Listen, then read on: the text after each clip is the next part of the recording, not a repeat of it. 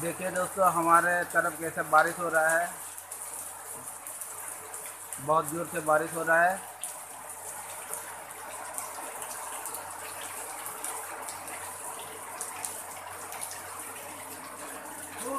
और इधर अन्नों को देखिए कैसे देख रहा है बारिश को।